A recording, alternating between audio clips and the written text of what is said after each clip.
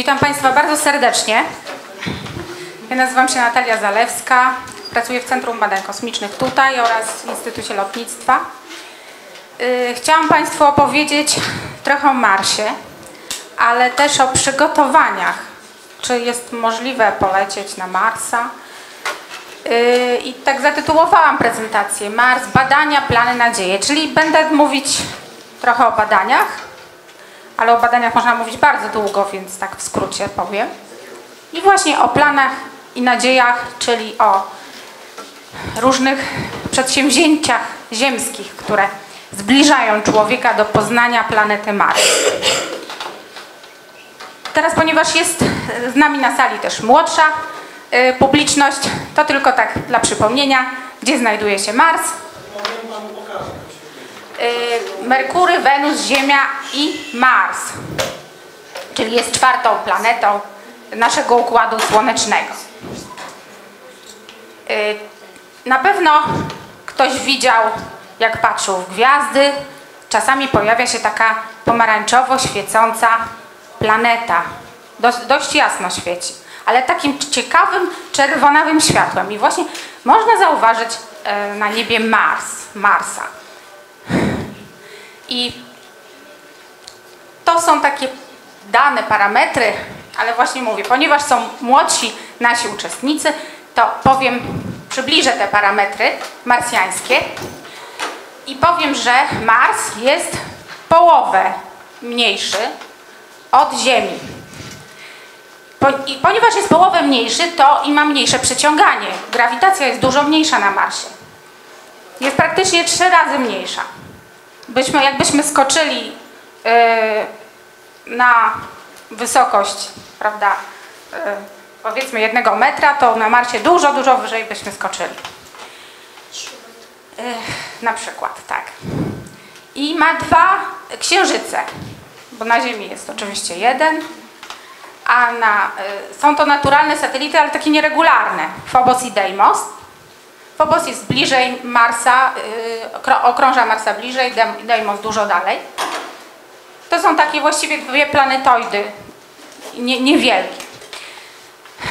Ponieważ, jak będę dalej opowiadać, no, na Marsie jest bardzo rzadka atmosfera. Tam praktycznie 90 parę procent jest tylko dwutlenku węgla.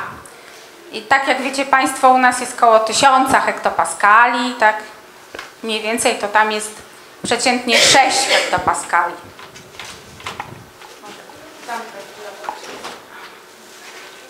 Tam jest 6 i praktycznie jest bardzo rzadka atmosfera, dlatego kosmonauci, który, którzy by tam wylądowali, musieliby na pewno mieć e, takie skawandry kosmiczne jak na Księżycu.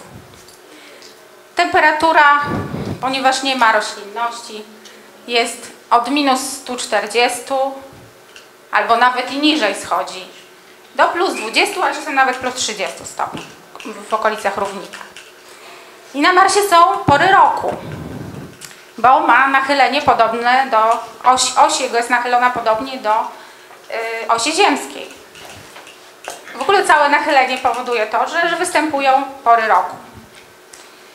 Y, I teraz troszeczkę o historii odkrywania. Może mój kolega pewnie troszeczkę mówił, mówił o tym. To dla niektórych Państwa będzie przypomnienie, dla niektórych właśnie początek. Ja chciałabym mówić troszeczkę w świetle tej wody na Marsie, czy, czy ona jest i czy ona y, była.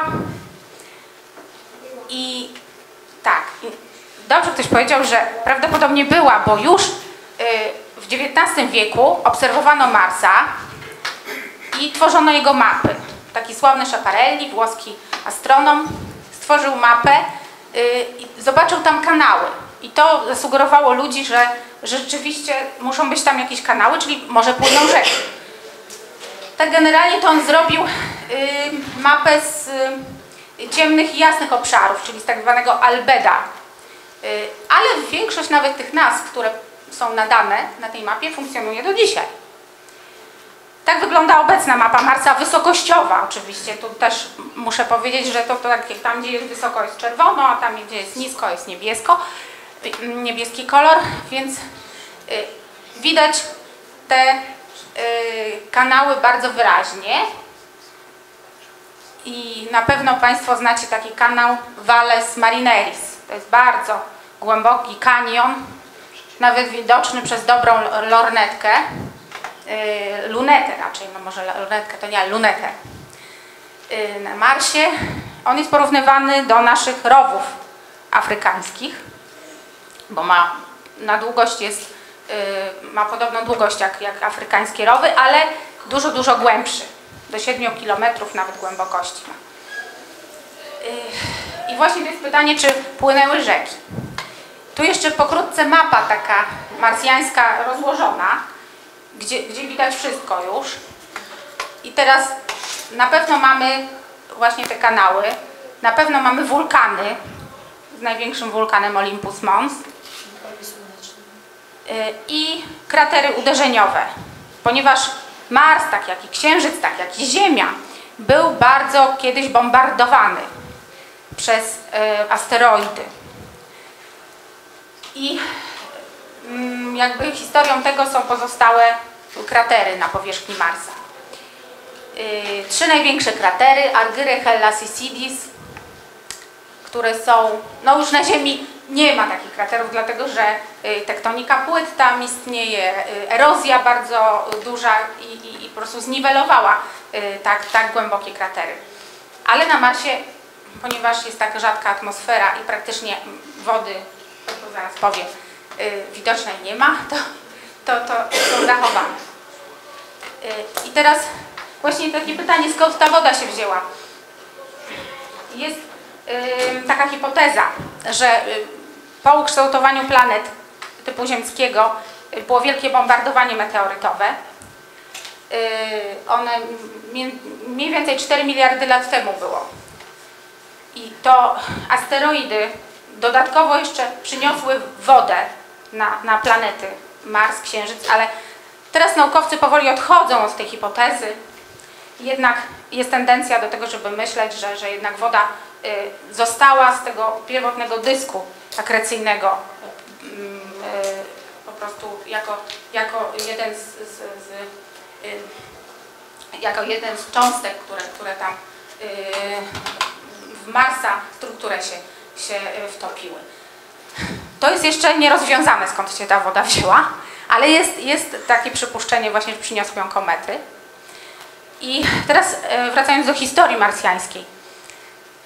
Y, Pamiętamy jeszcze, niektórzy z Państwa pamiętają lata 70. y, Wysłane sondy, dwie sondy Viking 1, Viking 2 razem z landerami.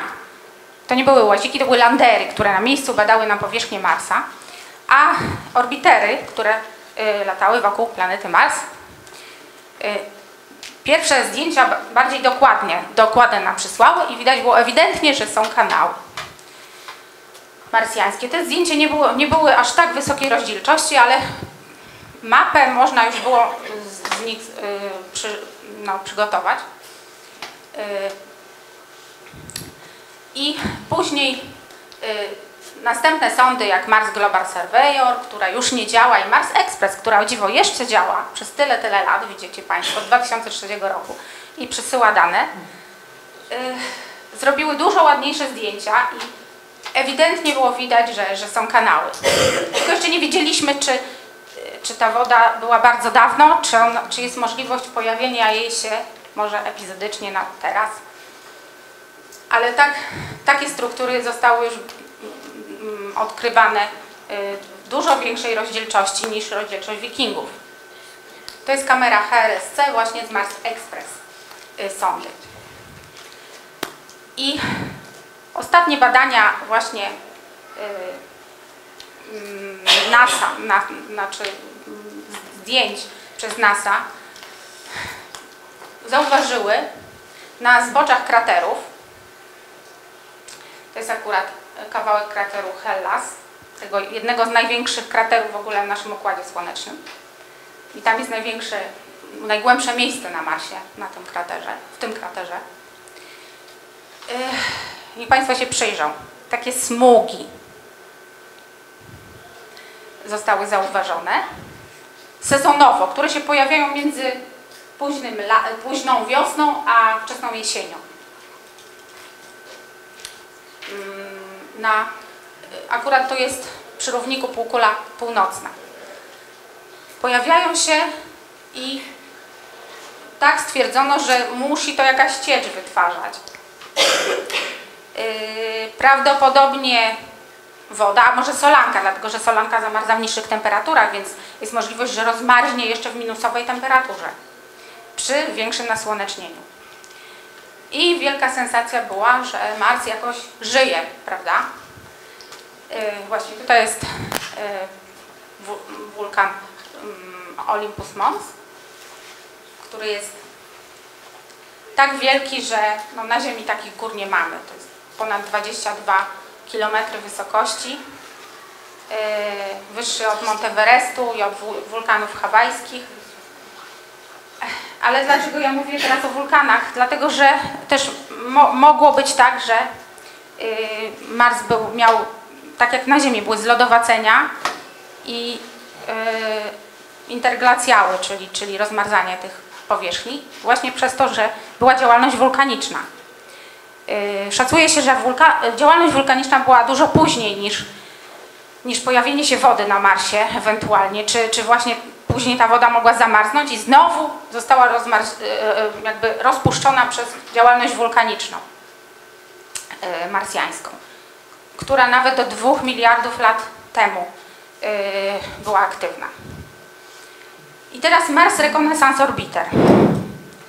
Sonda, która działa cały czas, w 2005 roku wysłana. Też wielki sukces NASA, bo na jej pokładzie znajduje się kamera o średnicy zwierciadła. Właściwie to jest teleskop zwierciadlany. Y, bardzo wysokiej rozdzielczości, gdzie piksel nawet 25 cm, czyli kamienie możemy oglądać dzięki tej kamerze. Y, została właśnie zamontowana na Mars Reconnaissance Orbiter. Przysyła nam bardzo dokładne zdjęcia, które potwierdzają działalność wodną w przeszłości marsjańskiej. Y, ona jest w zakresie wdzialnym oraz ma kawałek y, krótkiej podczerwieni. Zdjęcia są robione w, tej rozdziel, w, w tym zakresie. Nie, pewnie Państwo widzieli nieraz takie zdjęcia marsjańskie. Proszę się nie łudzić, że Mars tak wygląda. To, te zdjęcia są podkolorowywane komputerowo.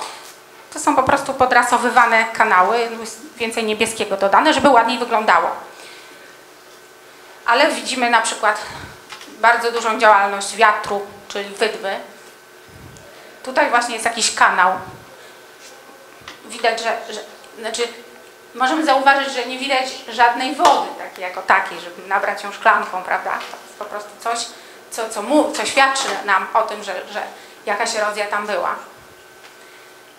Yy, też zdjęcie pokazujące erozję i pozostałości po skał, bardzo porównywalne do, do ziemskich skał yy, i do, do ziemskiego sposobu właśnie rodowania, bo są skarpy, bo są mesy, bo są yy, ostańce erozyjne, bo są właśnie wydmy, gdzie wiadomo, że wiatry wieją na Marsie bardzo silne mimo tak rzadkiej atmosfery. I teraz tak, Państwo, mm, niektórzy nie pamiętają, niektórzy może pamiętają, tak, twarz marsjańska. Też sensacja była, że może cywilizacja była na Marsie, tak, w latach 70., bo to jest zdjęcie z wikingów. E, że, że jakaś cywilizacja zostawiła twarz, tak jakiś sfinks może, ale jak przyjrzymy się właśnie tej kamerze w większej rozdzielczości, to zauważymy, że to nie jest żadna twarz, tylko gra cieni y, rozmytych przez tamto zdjęcie, a to jest po prostu zwykła, zwykły ostaniec erozyjny lub właśnie lub tak zwane pingo. A co to jest pingo?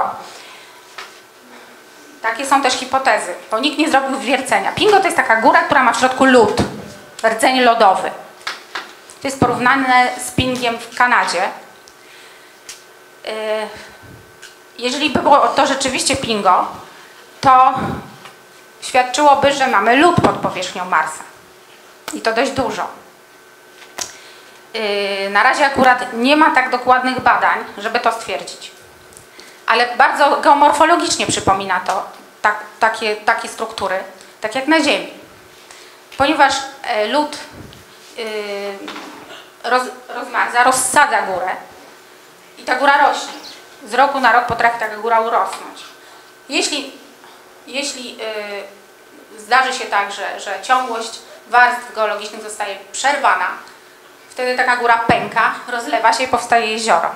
Takie formy też możemy znaleźć na Marsie. Tu jest tak poglądowo pokazany y, taka budowa takiej góry, że w środku jest właśnie lód.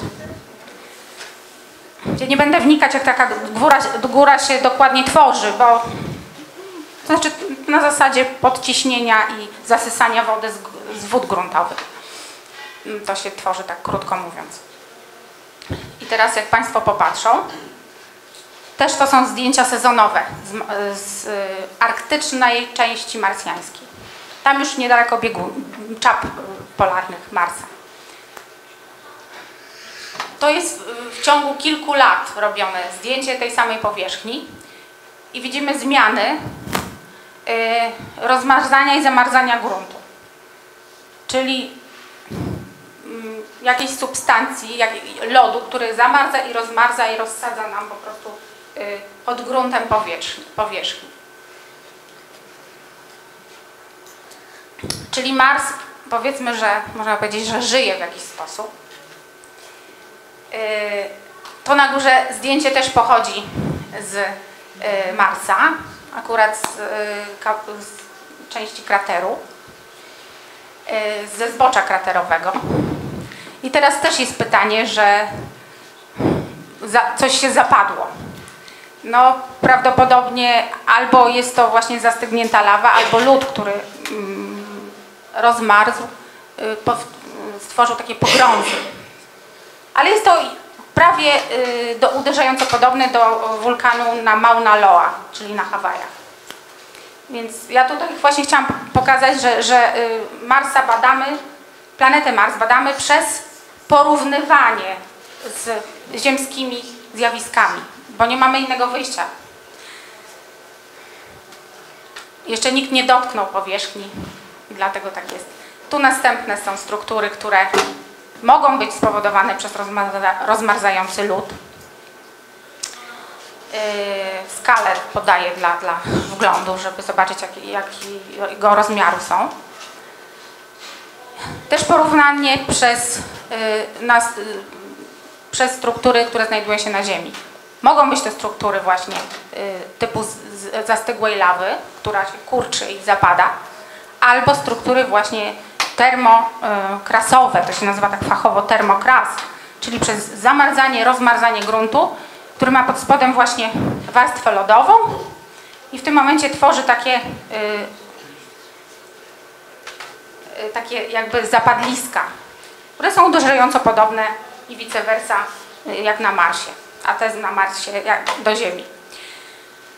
Następne bardzo głębokie jamy, które są też y, w okolicach y, kraterów akurat Alba Patera. Też była no, ciekawe zjawisko, że na Marsie takie, takie y, są struktury, że, że, że w ogóle na, wręcz na kilkaset metrów w dół trudno jest zmierzyć głębokość tych jam. Albo są to wulkaniczne. Tutaj jest zdjęcie z Is- Islandii, z takiego kominu, komina wulkanicznego, z zapadnięcia lawy, a tutaj jest z Hawajów. Albo mogą być to, tak jak mój kolega wcześniej mówił, y, wybuchy metanu, bo teraz jest wielkie poszukiwanie metanu na Marsie. A to są zdjęcia z Syberii. I takie doły tworzą się na Syberii przez rozmarzanie wiecznej zmarzliny, która w sobie zawiera metan. I ten metan wybucha i tworzy takie kilkudziesięciometrowe, y, okrągłe dziury. Średnica akurat na, największych wynosi 30 metrów ale jesteśmy cały czas w trakcie badań. Jeszcze te zjawiska na Marsie są jakby zagadką. Są tylko na razie przypuszczenia. Możemy właśnie porównać to ze strukturami, które znajdują się na Ziemi. Następne ym, struktury wyglądają w ogóle jak jakiś kręgosłup tutaj. Znajdują się w kraterze Isidis. Takie stożki. Je, jak ja e, patrzyłam y, sprawdzałam mm, w literaturze, co to może być, to pomysłów na to jest chyba z 5-6, ale prawdopodobnie są to stożki wulkaniczne, które powstają tylko w wyjątkowej sytuacji, kiedy na powierzchni leży lód. Takie zjawisko mamy na Islandii. Yy, właśnie to jest yy, okolice jeziora Mywatan. Tam są bardzo dziwne nazwy na Islandii, ale tak to się nazywa. I tam są właśnie takie stożki żużlowe, które powstają przez przedzieranie się yy, magmy, która od razu stygnie, dlatego tworzy taki mały stożek, przez rozmarzający lód. Bo kiedyś Islandia była prawie cała pokryta lodem, dlatego to się tak tworzyło. To jest zbliżenie na taki wulkan. On jest zbudowany z takiego właśnie żużlu. To ludzie dla skali zobaczyć. Można zobaczyć właśnie, jakie to jest duże na, na, na Ziemi. Na Marsie jest wielkość porównywalna, jak sprawdzałam. Także następne struktury znajdujące się na Marsie. Są to prawdopodobnie lodowce, bo wcześniej nie wiedziano, nie, miano, nie, nie, nie posiadaliśmy zdjęć wysokiej rozdzielczości. To jest zdjęcie właśnie z Marsa. Ewidentny jęzo lodowcowy. Ktoś mówił wcześniej, że to spływy jakiegoś materiału, ale to jest uderzająco podobne do lodowców ziemskich na, na Grenlandii. Tutaj druga, druga, e, drugie, inne zdjęcie właśnie z takich struktur marsjańskich. Też porównywanie do lodowca. To jest akurat zdjęcie zrobione przeze mnie na Islandii. Że prawdopodobnie na Marsie są lodowce, które na przykład były mm, zapasem lodu, wody w późniejszym e, etapie, e, na przykład dla przyszłych astronautów. Tylko, że one są niestety, yy, znaczy niestety, niestety, yy, nie są białe, tylko są takie przykurzone, dlatego że Mars jest bardzo zapylony. Tam są burze pyłowe, tam ta powierzchnia jest pokryta często dużą warstwą pyłu i tych yy, lodowców nie widać, tylko widać same struktury. I one są szare na zdjęciach, nie białe. Ale dzięki wprawnemu oku geologa, dzięki takiej rozdzielczości zdjęć można je zidentyfikować. Teraz przechodzimy do łazików. Wiecie Państwo, że jeżdżą takie łaziki na Marsie. To są też duże, udane sukcesy y, NASA. W 2004 były wysłane dwa łaziki, Spirit i Opportunity. Y, Spirit niestety już y, umarł śmiercią, nie wiem czy naturalną, czy tragiczną, jak to powiedzieć, bo zakopał się w Wydmie i już nie wyjechał z niej już stracono łączność z nim, natomiast Opportunity jeszcze do, do dzisiaj działa i przysyła nam zdjęcia. I proszę Państwa, bardzo ciekawym odkryciem tego łaziku, tych dwóch łazików było odnalezienie takich struktur kuleczek yy, na powierzchni Marsa. One mają mniej więcej gdzieś centymetr średnicy. Ja dla porównania przy, przyniosłam takie kulki. Może tak pokażę. O. Potem zapraszam na y, warsztaty, będzie można z bliska te, te kuleczki zobaczyć. Ze Stanów Zjednoczonych, y, z Utah. Y, jakby dla porównania. I to są konkrecje, które się tworzą w piaskowcach, w piasku po prostu, przez przesiąkanie wody. Właściwie krystalizacja tego nie jest do końca poznana. Dlaczego właśnie się kulka tworzy? Ale jest to konkrecja, która przez przepływ wód wysoko zmineralizowanych z węglanami, z siarczanami, z tlenkami żelaza, tworzy takie kuleczki. Więc jest dowód następny na wodę na Marsie. Y, te kuleczki sobie na przykład w bardzo dużej ilości tkwią w warstwach na powierzchni, bo to jest zdjęcie z Marsa właśnie, na powierzchni Marsa. I właśnie jak przybliżymy, to widać, że, że jest to formy takich małych kuleczek. Następny łazik, Curiosity, też działa cały czas. W 2012 roku wysłany.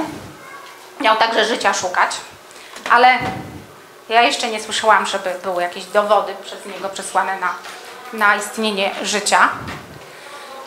I w tym momencie yy, jednak tak samo on yy, nam przysłał zdjęcia które świadczą nam o istnieniu wody na Marsie. To były jedne z większych sukcesów tej misji. No i jeszcze, znaczy były, bo, bo ta misja cały czas jeszcze jest. Tutaj m, tak poglądowo tylko można zobaczyć, jaka aparatura na takim łaziku się zna, znajduje. Czyli laser do badania chemizmu skał. To oczywiście jest kamera, która, mastcam, która robi zdjęcia. Tych kamer jest kilka. Jest szukanie śladów życia, jest ym, spektrometr do chemii, mineralogii, do dyfrakcji rentgenowskiej, wiertarka udarowa, bo on ma taką szlifierkę i taką malutką wiertarkę, gdzie na kilka centymetrów może się wiercić. Czujnik promieniowania, wykrywanie wodoru pod powierzchnią. A wodór, y, dlaczego wodoru? Bo wodór nam świadczy o tym, że y, prawdopodobnie jest to y, no H2O, prawda, woda ma y, cząsteczkę i wodór świadczy, że, że jest możliwe, że tam jest woda powierzchnią albo lód wodny. Po to, po to się robi takie badania. I zdjęcie właśnie lewe z Marsa, a prawe z Ziemi i identyczne struktury, które właśnie można po nich stwierdzić, że, że są po y, przepływie wody stworzone. Są to otoczaki, które y,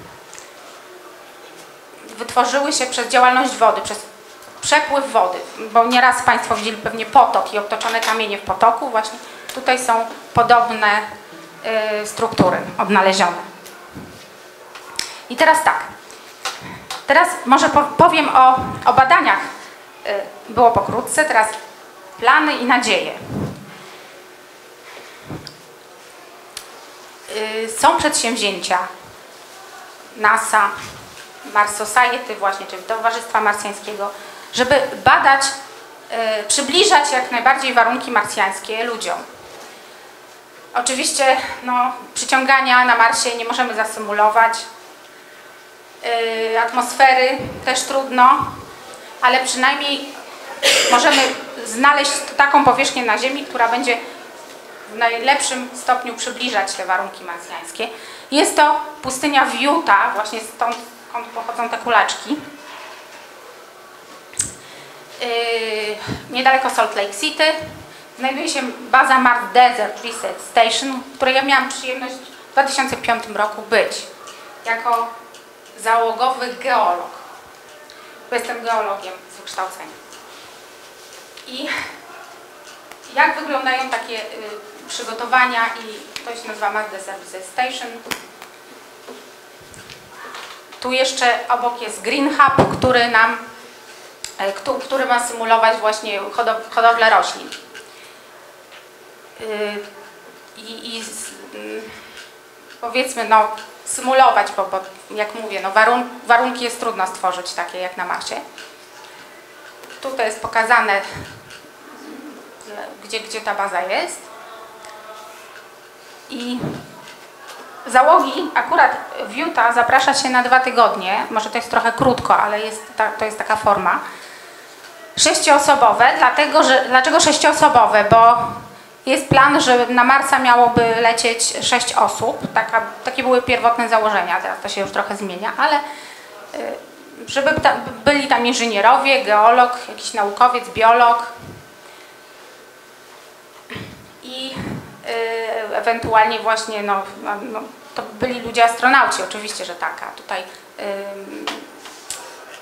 jest jakby forma, y, może ja nie powiem, zasymulowania takich warunków, tak, I, i, i takiej załogi.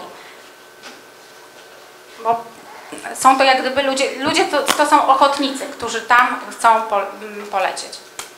Nasza załoga miała numer 33. Ktoś z Polski był, czy tylko polskie nazwisko? Ja byłam. Ale y, tak naprawdę były trzy osoby, bo jeszcze druga baza znajduje się w Arktyce, y, w kanadyjskiej Ark- Arktyce na wyspie Devon i tam był y, jeden z kolegów, biolog, y, przede mną. Y, mm, ja byłam jako drugą Polko, druga Polka. Y, trzeci był Michał Czapski w 2014 roku teraz. Ja potem pokażę jeszcze, że tam jest troszkę, troszkę inaczej już ta baza wygląda właśnie niż w 2005 roku. I jest teraz plan, żeby pojechała cała grupa wyłącznie tylko z Polaków złożona. Są przygotowania do tego robione.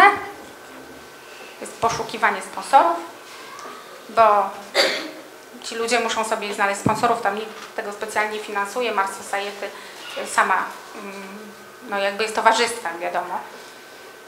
Y, I może jak się uda, to w marcu pojedzie grupa polska, złożona z samych Polaków. Ze mną też na czele. Jest takie, y, tam jest takie y, jakby obostrzenie, że jedna osoba z takiej grupy sześcioosobowej musi być, która już tam kiedyś była. Wobec tego poproszono mnie jako osobę właśnie, ewentualnie no, mogłabym być komanderem i pewnie tak będzie.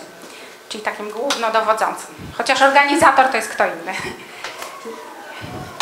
I właśnie, co, może ja opowiem troszeczkę o tej bazie, że, że no, trzeba sobie na dwa tygodnie y, żywność tam przywieźć, bo y, no, nie ma sklepów, wiadomo, na pustyni i trzeba ją samemu sobie przygotować, czyli zapasy jedzenia. Jak widzimy, że na dwa tygodnie to dużo dosyć jest. A co mówić na pół roku lotu na Marsa albo jeszcze przebywania tam pewnie ponad rok. Yy, tutaj jest jeszcze widok na tą bazę. W środku, w środku są dwa, yy, dwie kondygnacje, parter i pierwsze piętro. Na pierwszym piętrze znajduje się sześć pokoi dla sześciu osób, bardzo wąskich, bo to ma właśnie imitować minimalizację warunków marsjańskich, żeby taki habitat, habitat to się nazywa habitat, yy, taka, taka yy, kapsuła, w której by mm, astronauci mieszkali. Dla niewielka, żeby szybko ją zmontować, nie żeby nie zajmowała dużo czasu.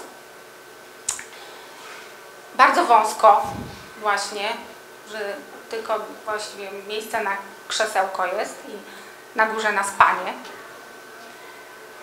Y, Pisanie raportów, bo, bo chodzi o, o symulowanie łączności z Ziemią, że, że każdy po prostu ma, ma tą łączność z Ziemią, pisze raport mm, z badań. Aha, jeszcze chciałam powiedzieć, że takim symbolem Marsa jest flaga marsjańska, czerwono-zielono-niebieska.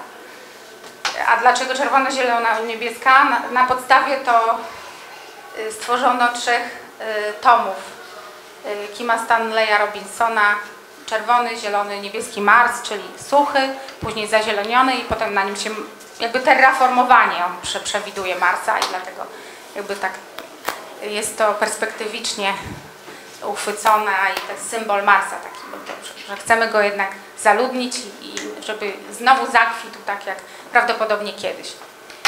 Zejście na dół i na dole oczywiście laboratorium. Teraz to troszkę jest e, podobno lepiej zmodyfikowane, ale i, i mikroskop i, i rzeczy do badań, mogą ci biolodzy i, i, chemicy tam zapraszani żeby mieli miejsce do, do, do badań. Tutaj udoskonalanie bazy coraz, co, co jakiś czas, bo się coś psuje, trzeba naprawić, więc y, jest y, taki, taki, taka narzędziownia.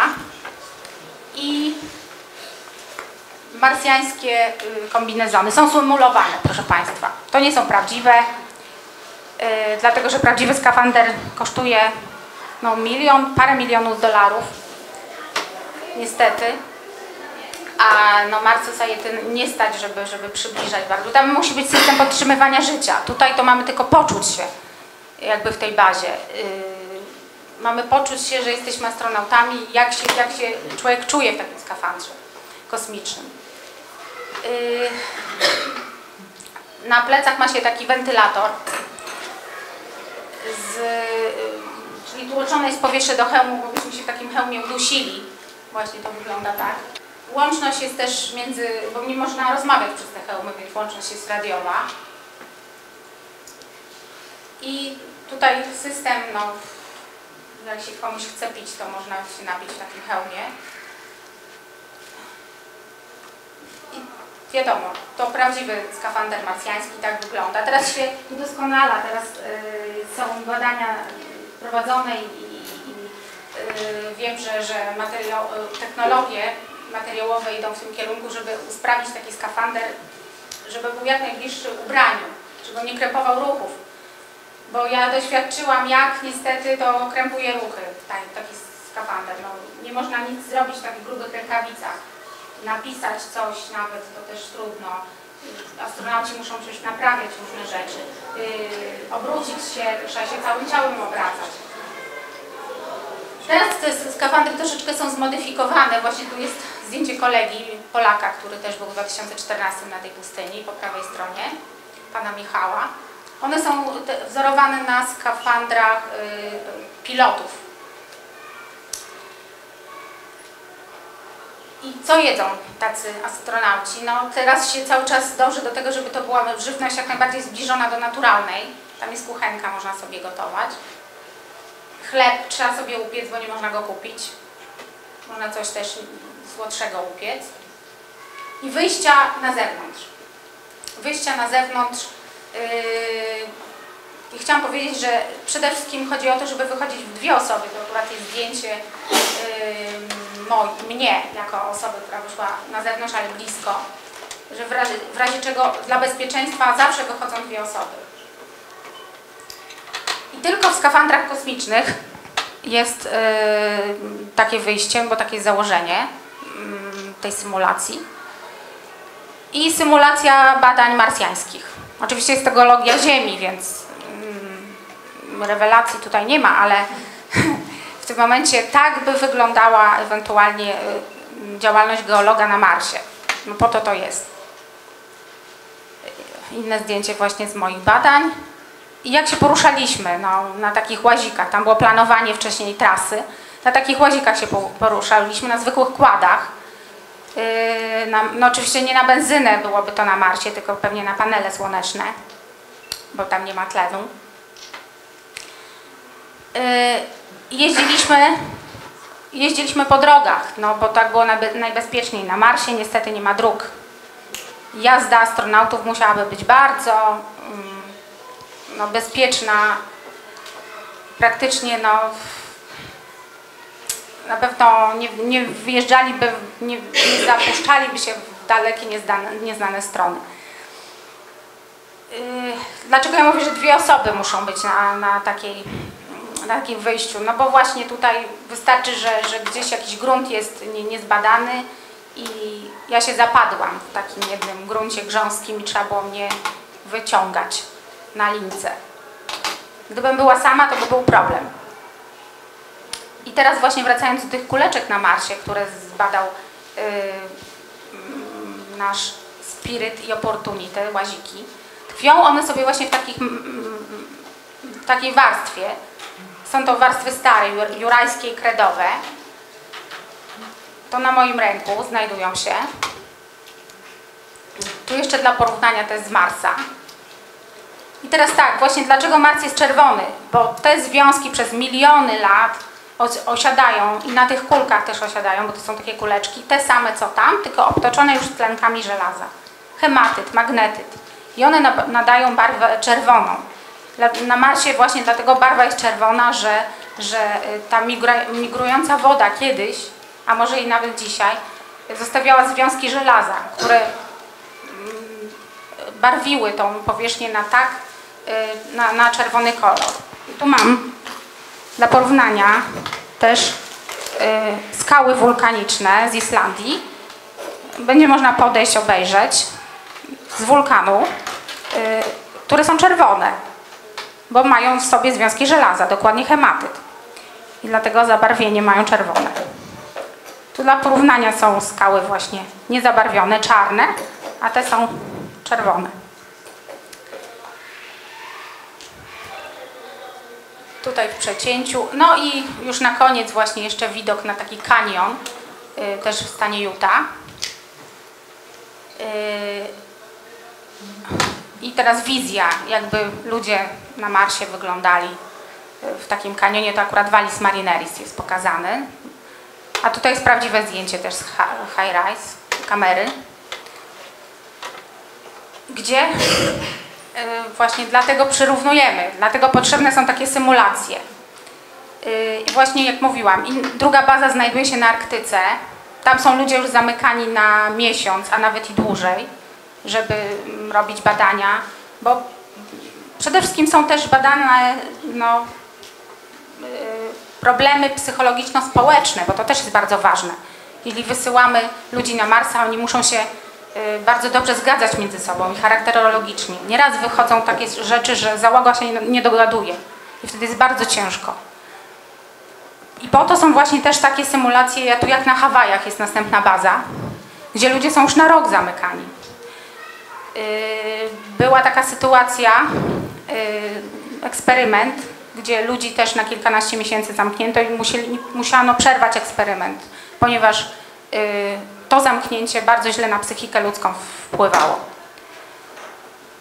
I tu żegnamy się z Marsem. To takie zdjęcie alegoryczne, perspektywiczne. Albo witamy, albo żegnamy, no nie wiem. I dziękuję za uwagę.